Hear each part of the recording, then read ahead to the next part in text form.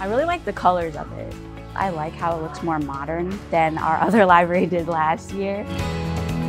And quite amazing that the school district of Sun Prairie realizes how important the media center is.